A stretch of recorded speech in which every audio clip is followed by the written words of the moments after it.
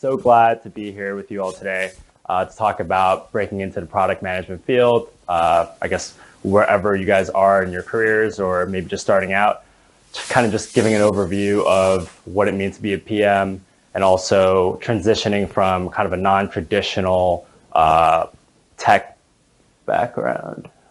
Yeah, I just want to thank all of you for coming out. It's cold today.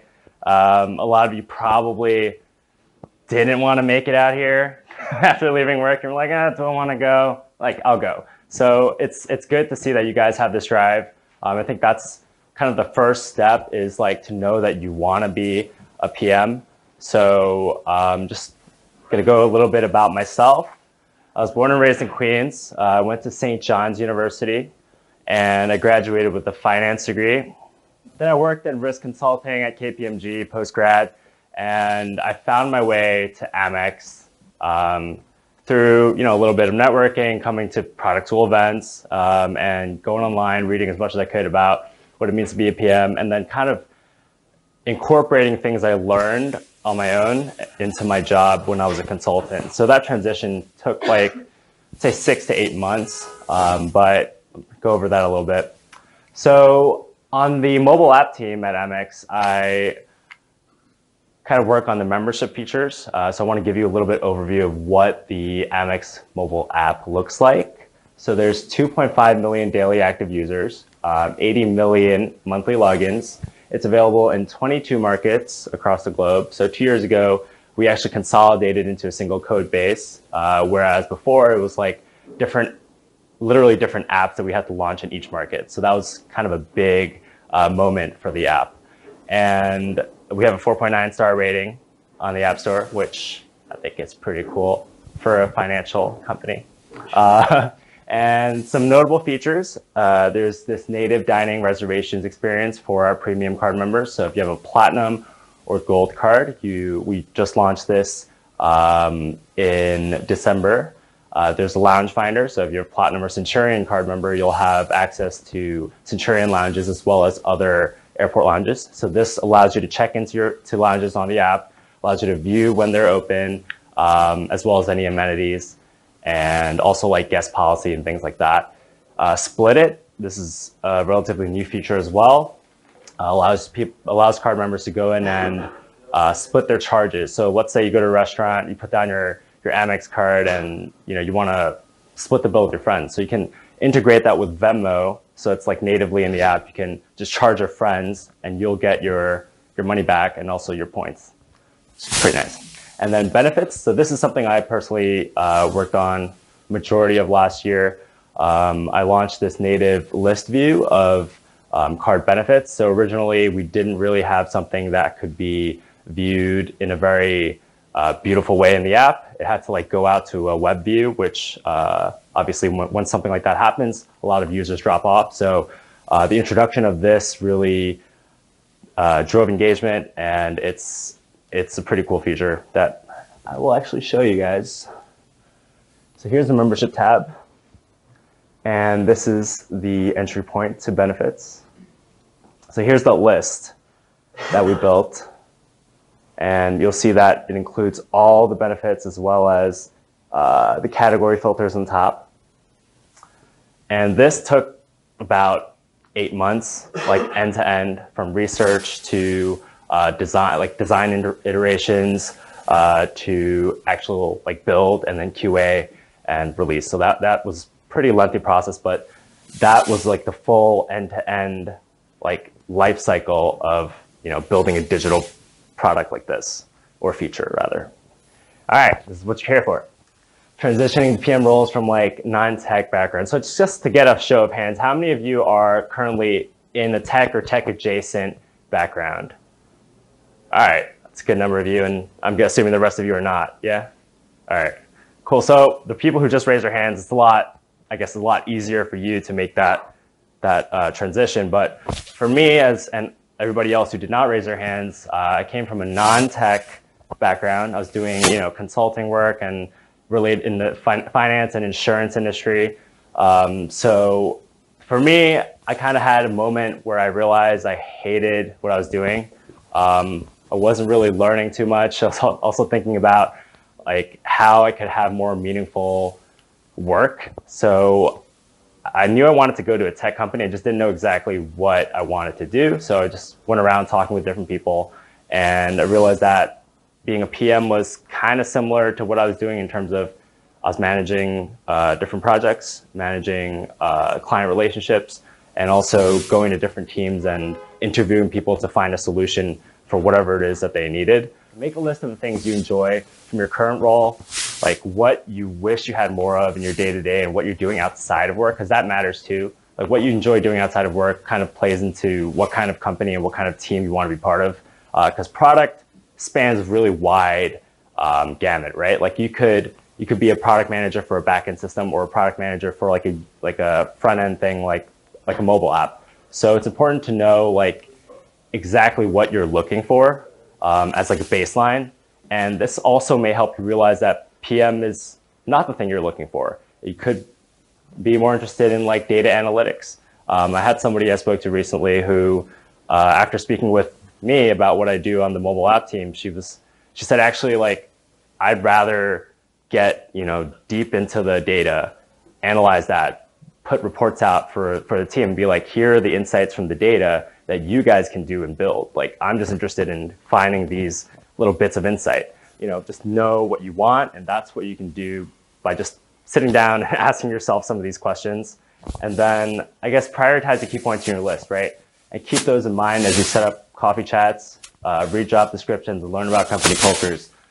Um, I know this is like super cliche, super basic, but it's important to have like goals. And I'll talk talk about this later, but set up different points where you're like, I need to have this many coffee chats or like this, reach out to this many people because um, you're in your daily like lives, whatever whatever job you're you're in, like you're gonna quickly get back into that rhythm. And if you don't set these checkpoints up for yourself, you're gonna slow, just not gonna do it. Communicate your interest. That's this is the most important piece. This is the piece that kind of solidified my transition. And it's everybody tells you, right? It's not it's not what you know, right? So it's it's who's gonna give you that chance to get in front of them to be like, hey, like tell me your story. Because we all can say we know Jira. We all can say we know uh, agile methodologies, agile principles, whatever it is, right? Um, what makes you stand out is who you are. And if you don't get that chance to be in front of somebody, you're never gonna, it's, well, it's not never, but you're gonna have a really difficult time making that transition. Um, so just like kind of big themes here. Yes, it's important to know yourself, right? You need to know the tech stack. You need to know um, kind of basic, basic like how like an app, like maybe for a specific app, like where the APIs, what what data is, where the data is coming from, um, kind of basic lingo that your engineers are just speak the language that your engineers are speaking. And, um, I guess familiarize yourself with the product development lifecycle, things like that.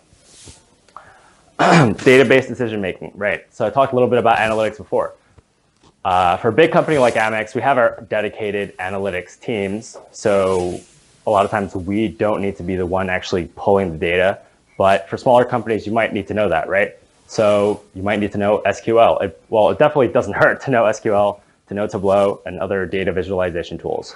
Um, but regardless of where you get your data, you need to use that to uh, support and justify your future decisions. Because if somebody asks you like why did we build this? And you're just like oh just because it feels like it was the right move or like our customers will be happier. You need something more concrete. And these numbers will help you tell that story and support your, your case. So make sure like i guess in whatever role you are uh, make sure data plays a more heavy role in like the way that you are executing whatever it is that you do. One of the most important things, finding ways to include different views in meetings or uh, when you're talking about discovering different features or even if you're not in, you're not in a PM role or not tech role, like finding other people to talk to about your ideas. Because as a PM, like it's not just about you know your idea I know a lot of times people tell you, oh, the PM is like the CEO of a product or the CEO of a feature, you're like the middle person, you make all the decisions. It's true in a sense, but at the same time, you need to make sure that you have everybody else's buy-in because that's what's going to make you a successful PM, right? Like, can you imagine working with somebody, like working with engineering and design, and everybody just knows you as the guy who just makes your own decisions and you don't really care about anybody other's opinions. So it's super important to build these relationships with your partners, with uh, people that you work with on a daily basis, right? Like you're you're telling them the requirements, but they're the ones executing. So you got to make sure you have kind of the soft soft skills, right? You got to make sure you have their engagement, their buy-in, um, and just have like a a good working uh, relationship with your your teams should be a walking Wikipedia page for your feature.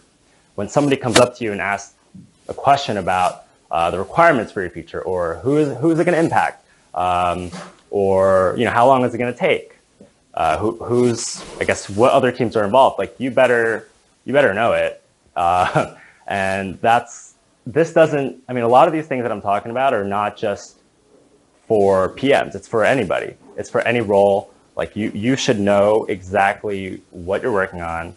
And if you don't, then just like keep brushing up on it, keep reading more about it and talk to different people. Uh, and they, they should be willing to educate you or like help you get to that point where you know your stuff. Yeah. I mean, be a better person, right? Like just be nice, be empathetic. Like these things are like, you're like, oh my God, like, yeah, but being a PM, I think a vast majority of it is like if you're nice enough, if you're if you're like going you, you're nice, somebody will help you out no matter like what kind of situation you're in. I found that just being nice, like when I'm in a really difficult situation, let's say I need a like uh, like a patch or a point release, for example, like something a major bug happened, and I need the engineering team to like really be on my side being nice like throughout my relationship with them helps a lot. And like just going over chatting with them when i have the free time building these relationships will help you get things done when you're in a pickle. So um, definitely you know like practicing. I don't know how many of you have ever taken improv classes or like uh, are familiar with this yes and thing but we recently had an improv group come in and we practiced just going like yes and to whatever the person was telling us and it turned out to be like, yeah, this would work really well during a meeting. And, you know, like you practice agreeing with people to kind of get their view rather than just shutting them down because you're like, oh, that, that's never going to work. Like that's, that's too crazy of an idea. Uh, that'll help you become more innovative as a PM too. And I think that's a really important thing, right? You're a PM, you're supposed to be driving the vision for a product or feature. So being able to hear other ideas and kind of being like, take a step back and be, like, all right, does this person have a point? Or like, maybe it's not the best idea, but what other ideas can sprout from those ideas uh, is super critical. Showing praise, like when somebody does something, like say thank you. I know, right? Go up to them and be like, hey, I think you did a great job. And not just like, thanks on Slack or like Skype or whatever you use. Honestly, sometimes after after a project, I'll walk over to a designer to help me or a, you know, an engineer, researcher, whoever, and I'll be like, hey, I think you did a really great job. Here's why. And honest, give honest feedback. And that also goes a long way, right? These are all relationship building things. Um, and also own successes and failures. Like when something doesn't work and you're like, okay, like that was terrible, like you got to own it and be like, hey, that was my like I let that one. I kind of had these missteps or like I didn't see these things as clear clearly as I should have. Um, but it's super important to make sure you own the failures as much as you embrace your successes. Uh, here's just some like materials that I thought would be helpful. So obviously product school videos, right? Like that's what helped me a lot actually. Two years ago, or actually a year and a half ago, I was kind of like one of you guys. I was sitting there and being like, all right, how do I like, how do I talk to this person after and like also like get a job? But also like how do I better myself? How do I learn these things? How do I do these things that these, this guy is talking about? Um, so product school videos, there's so many of them. Just like watch whatever. And then I thought Shoe Dog by Phil Knight was really good uh, because he talks a lot about how he developed the Nike brand and different products. And I thought that was a really good way to see, you know, like the challenges, the successes, all these emotions that come with building a product and building a brand. And I think that relates a lot to, um, you know, what you will experience as a PM. Maybe not to that magnitude, but you kind of will experience some of these same things. Uh, inspired, this is kind of a classic like product book that a lot of people tell you to read. Um, I thought it had a lot of good like uh, technical things, technical terms, like product terms, but um, a little bit dry. Uh, and tech blogs, you know, just stay stay current on what's happening in the tech world. Or I don't know, sometimes there's, um, you know, PMs also work in non-tech industries. So it could be a physical product that you want to be going into to develop. So I guess whatever industry that you plan on going into, uh, make sure you're up to date on that. And this is one of the, my favorite books of all time. it's uh, How to Win Friends and Influence People by Dale Carnegie. Great book on how to deal with people in different tough situations. Um, I think this book is over 100 years old, but it's still super relevant today. And you're going to learn a lot of things, I think, just from reading this book. And it's a really quick read. So definitely read that. And some action items, like this is what I would do if I were you. Definitely set up like reach out to X amount of people every week. Um, obviously, find those connections, right? If it's like a secondary connection, if it's a university alumni, if it's um, an old coworker or I don't know, whoever, um, those are obviously the easiest ways to, you know, get in front of somebody, tell them your story, and then, um, yeah, continue attending events like this. Super, super helpful, at, at least when I was searching for a PM role, um, just to hear people's stories, their journeys, and also kind of learn about the culture in different companies I was interested in, right? Like you see all these big name um, companies, and it's like, yeah, like sure, Google sounds nice or you know Spotify sounds nice, but what is it really like to work at this company and specifically on a team? Uh, there could be, like, just speaking from Amex, like the mobile product team is very different than um, like a platform team or a physical card product team. So it's it's getting an idea of what it's like to work in these different environments and then seeing is this the right fit for me. I actually learned something from this one guy who was like this Facebook recruiter who spoke here. And he said when you're interviewing, like it's not just them interviewing you, right? You got you're interviewing them at the same time to make sure you have that right fit. Because at the end of the day, if you go to a company and you're just like, it's a it's a product role, but I, I really don't like this team. It's not going to set yourself up for success, um, and that's just the bottom line. And learn how to operate in a product development environment. So, like if you're not already part of, you know, product development lifecycle, uh, familiarize yourself with the different points, right? And then try to fit that into your daily, your, your whatever your daily responsibilities are. Um, so yeah, like agile principles, writing sample user stories. Like you can be like, what's my favorite app? Or like, what can I improve? And then write requirements for that uh, as like a sample. Or you're applying to a company, Facebook and some, some or like let's say Instagram, right? And it's like Instagram stories. All right, Instagram stories is displayed a certain way. Uh, I'm applying for this team. How am I going to contribute as part of this team? Like all these hypotheticals and kind of envision yourself as part of it. And the more you do it, the better you're going to be at it, right? Especially if you have no experience in product. Doing this will help you kind of at least be familiar with you know how the work how the working environment is and so when people are asking you during an interview, you're like, I know because I did this thing before. Uh, so that's that's something you should do. And lead mock-up, like mock stand-up and discovery meetings. Um, so if you're a PM, like you might not always lead it, but you should be a participant in daily, weekly, whatever stand-ups. And uh, if you're not part of that today, it's it's good to maybe go go on YouTube, look up, or talk to your friends who have, who are doing these stand-ups, and be like, how do you guys conduct it? Um, you know, what are the best practices, and also just like practice doing it yourself. Uh, do it with like there are different product, I guess, groups. Maybe maybe you'll find a community from product school, but get together with a few people and practice that. Oh, culture, super important. So we have a lot of fun on a mobile team. Uh, we went skiing, hiking. That's the design team, but they did some like time paintball, paint bomb thing. And yeah, so just wherever you are, you have to be the one creating a culture because as a PM, you're going to be you're going to be that glue between these cross-functional teams, right?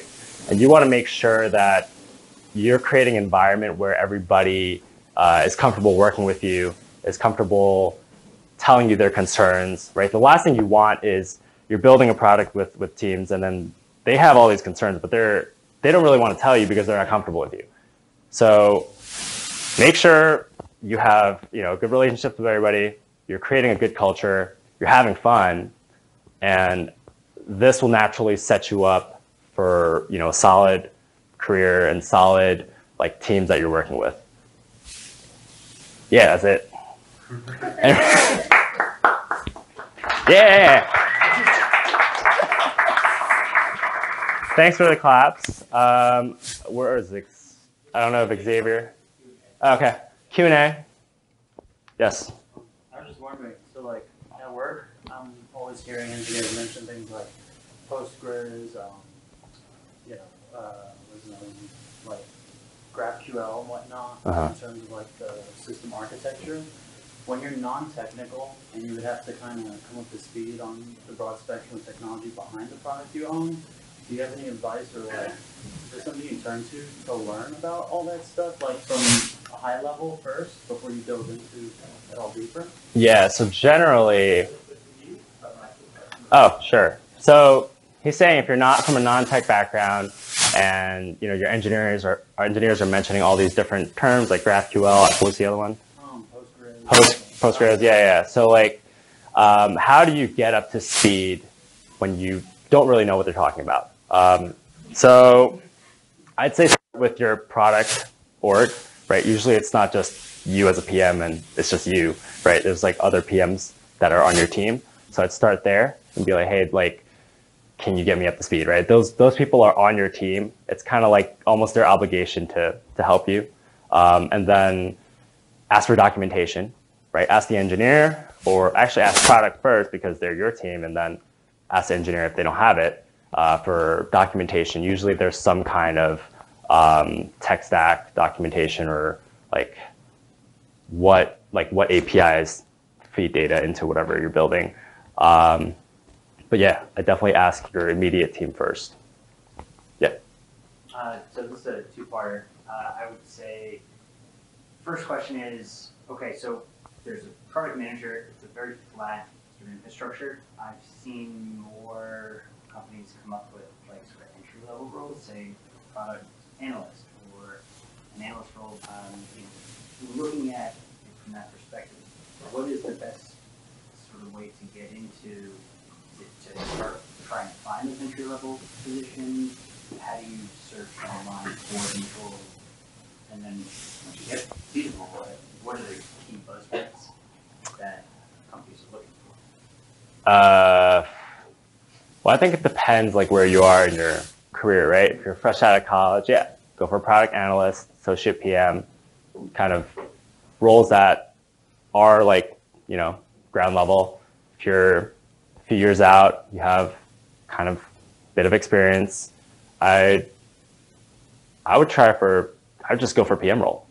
Um, it doesn't have. I mean, obviously, when you're shooting for companies, you know, like the FANG companies, right? They're, those are a little tougher. The competition is pretty tough. But if you go to smaller company or startup, um, it's yeah, I think there's a fair chance. Um, and I guess what you look for online, it's uh, yeah, I think it's pretty self-explanatory what they what's in the what's in the job description. Yeah. Okay. And uh, first, for the resume though, what are the key buzzwords that I guess companies sort of So if you're looking at job description of whatever company or whatever position you're looking for, they'll tell you the the, the code the, the code words the uh, the keywords, right? Like whatever they list, it's it's what they're looking for, and sometimes having like the having the what's called the tools, right? Jira, Trello, um, Rally. These are these are some keywords that companies use. There's also um, like if you're familiar with certain programming lang- languages, that's helpful. Um, I've never been a recruiter, so I'm not really. I'm just like talking, but uh, I hope. I think that's how it works. Yeah. So I have a how, uh, I guess as a PM, you have different fields to choose from. Um, Uh-huh. Confused that I don't know which fields I really like. About. Uh-huh. So you work in fintech. So what's the difference between? So how do you get into fintech or other tech company as a PM? Is there any differences? Or if I, for example, jump into one field and then I find out I, I Hmm. don't like this field, and is that an easy transition to change to different field? Uh, again, I think it's like all up to you in a sense. Like it's like your network too, right? Like all of your skills are probably very transferable. If you're a PM, you kind of use the same tools across different roles. Um, so it's it's kind of up to you to find like to build that network, to reach out to people and be like, hey, like, uh, or to to reach out to them for for a chat, right? I want to learn more about your role because I'm in a role where I thought I'd like it, or I didn't really do as much due diligence as my first job or as my first PM role or whatever it is. And then now I'm looking for something, you know, that I'm more passionate about, or like I want to work on this other thing because now I, I found out through whatever experience you had that you actually want to work on this other uh, silo of being a, a product. Yeah. Yeah. What kind of pushback did you get when you were going on your first PM interviews as someone who's coming from a consulting inter, uh, consulting background? Were people like, "What skills do you have?" or "We don't think you have the right skills"?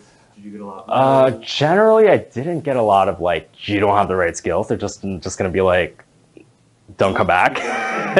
so it's they just said that. no one's gonna tell you that like you're just you're not good enough because like if they invited you to an interview, they thought you were good enough, right?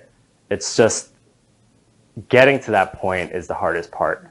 Uh, getting in front of somebody is the most difficult thing because being a PM, you can learn you can learn how to write user stories. You can learn how to use Jira and all that stuff, right? Learn the tech stack, and that's unique to each team generally, right? So it's just a matter of how you communicate with people, how you um, build your build culture on your team, how you're able to rally all these different people to come together to to this one goal of a feature or a bug improvement or just any type of enhancement to whatever you're working on. Sure. I guess to his point though, sorry, part Yeah. two. Um, to his point about like what makes your resume look appealing to someone. I know you're not a recruiter, but like what kind of things could you demonstrate just in a you know on a paper on the paper version of like this is who I am. Like cover letters? Were you including cover letters in your? Yeah, absolutely. I mean. I applied. I mean, I'm sure a lot of you can resonate with this experience, right? Applying to everything. You're writing covers, just like, oh my god, I worked like half an hour on this cover. Submit it, don't even hear back, or you get a rejection, like an automated rejection email, mm-hmm. and yeah, like, I guess it's that's why it's so important to to actually have this human aspect of it, right? Like getting in front of somebody, telling them your story, and then having them be like your champion, right? They're the ones giving you a shot. Um, so get in front of somebody. And if it doesn't just, it's not just about getting a job, right? Like you should go out and meet people to learn about product, to learn about their teams, not just, all right, I want a job from you. So I'm going to be like, yo, can we meet and like talk about positions on your team or whatever? Um, it should just be about like, I'm genuinely interested to learn, right? And then actually be genuinely interested, and then um, yeah, just just find out as much as you can, and then keep doing that until somebody's like, oh, I actually have an open position. Like I love their chat. I think you're a great candidate. Boom. Yeah. Uh, let's get somebody back.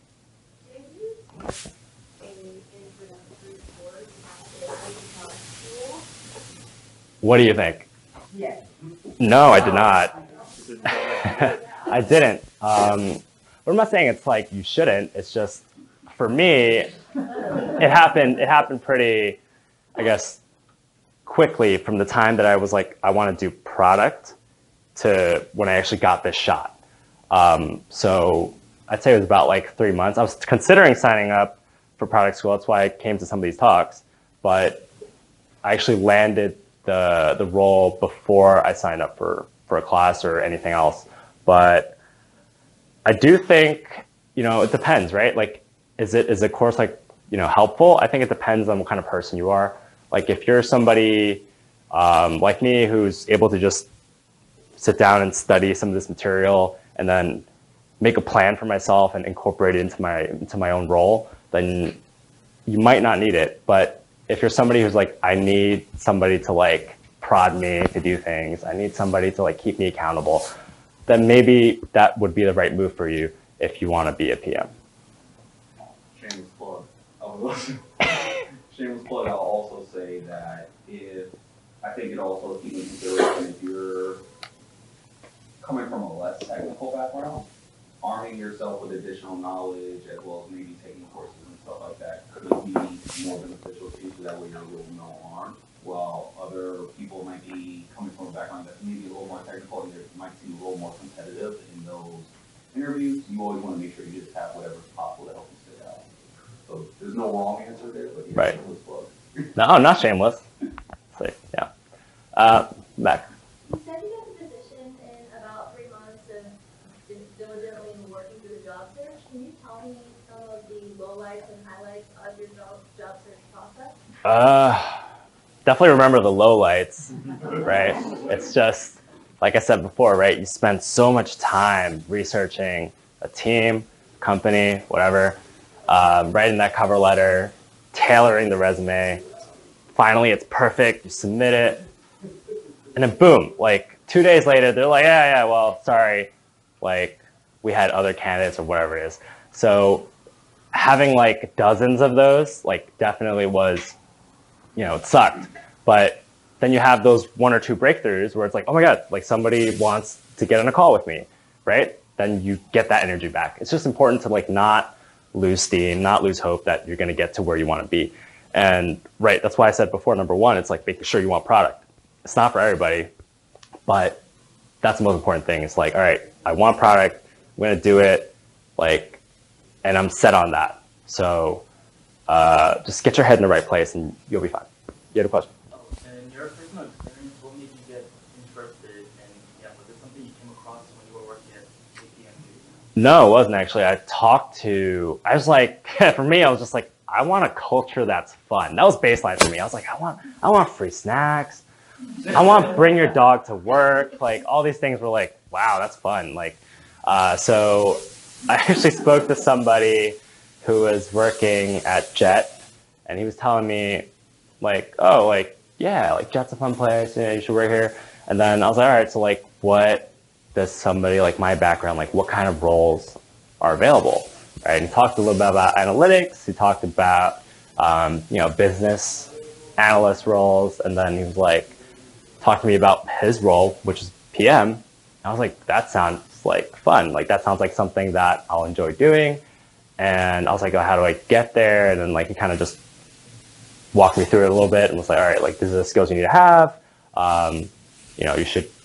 He sent me a bunch of like websites, and he was just like, all right, like just go to product school, like try to try to go to these talks and just hear people talk about what they do as a PM to make sure that you want to be a PM. Um, and then after I had that, uh, after I was sure that I wanted to be a PM, it's like that whole journey of like, you know, reaching out to people and stuff like that. How did you determine your uh, PM specialty. So there's a lot of different flavors of PM. Right. You mentioned earlier you're doing mobile, Mhm. full stack, more data and analytics oriented PM. There's more just marketing or sort of consumer, all sorts of Mhm. things for the PM. How, how did you decide? Uh, so this role actually was specifically for the app. So it wasn't just like a generalist thing where I got to decide afterwards. It was straight up like posting said mobile app team. So all right, I want to do that. So Oh, Yeah. just as simple as like, Yeah. I like to use mobile apps and I want to make an impact on that. yeah, it was just like here's the role, and it's like yeah, the interview was like you're going to be part of this team. You're going to be building features for the app, Yeah. and it wasn't like you're going to be working like here's a different group that you could choose. It was just straight up like app team. Do you want it or not? I was like, "Alright, cool, yeah. Were you targeting specifically mobile app PM For or for honest, wide net? I was I was casting a wide net at first. I was honestly interviewing for like hardware stuff too. So like you know Harry's the razor company. Like I was interviewing for PM roles there, and I was like, cool. I'll be working at factories, like going to different places and running through like um, I guess packaging and stuff. It just seemed like seemed cool. So it's just like I had I had a wide net, and it was like all right, like. And it's not to say that you know, I wouldn't have enjoyed that role. I think I just had this one first, and also the people were amazing. Uh, when I interviewed, they're all super nice, they're also like super friendly, and um, I just got the sense that they're very, they're a lot more eager to help me get to uh, competency as a PM than some of these other people I talked to. Yes. Yeah, I was wondering, um, over the life cycle of that uh, feature that you're talking about, Right. can you tell us how you approach um, testing on users? Mhm.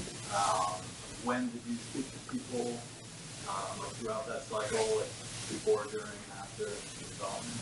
Sure. So, so kind of like was determined from the top, where it's like benefits should be a priority, and I had the kind of the option of working on benefits or lounges, so I chose benefits, and um, we started testing with users right after we had our own workshops to create mock-ups for what this benefits feature would look like.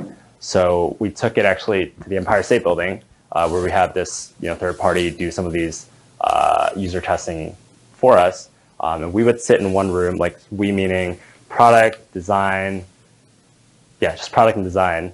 Uh, we'd sit in one room and watch a card member go through the feature. So we'd have, you know, basically it's A/B testing, right? We had two different mock-ups, and they'd go through it and use it, and you know, we would see kind of what what design elements worked and which didn't, and then iterate on that. So we, I think we ran total of like two different sessions for that. Um, but yeah, pretty early on where we're testing it with users, and then once we had that design solidified, then it just it just went to, to development. Yeah. So One kind of early testing session. Um, Yeah, yeah. And then- many people would you talk to in that case? a total of like 15 people. Yeah. Yeah. And then obviously there's, yeah, there's QA work after development and then, and then it's launch.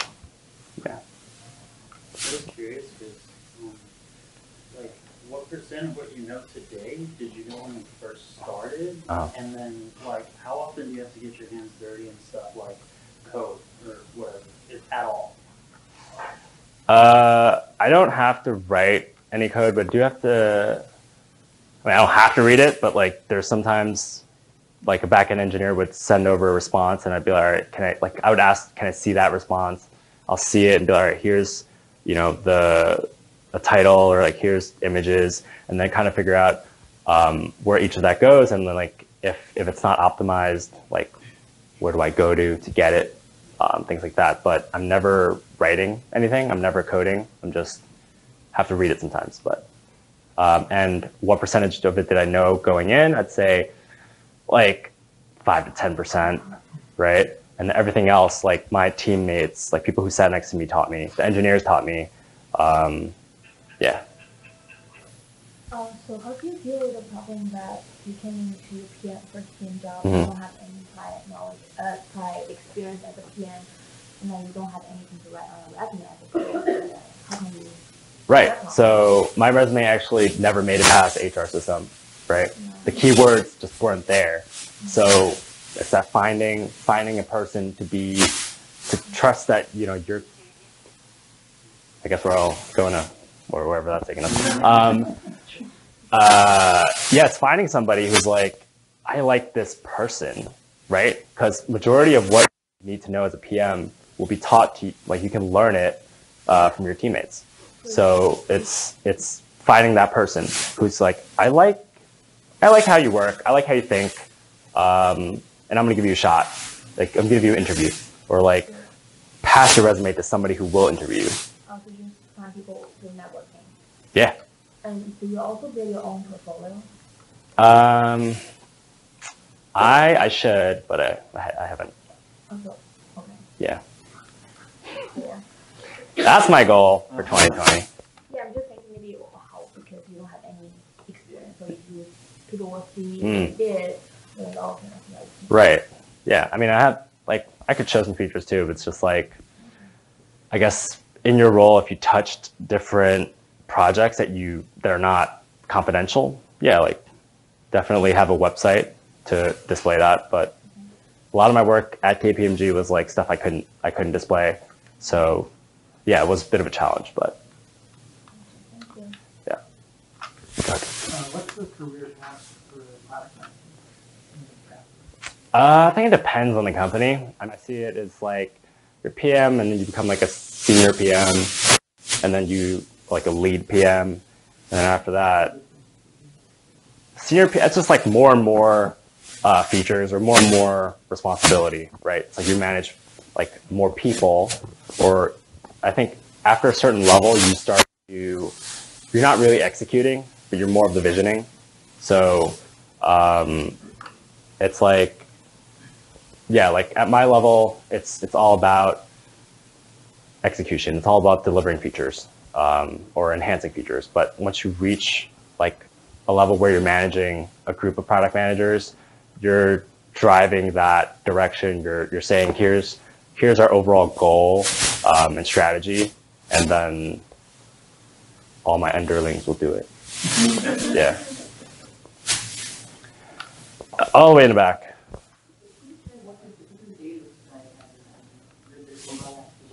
Yeah. Typical day. Okay. So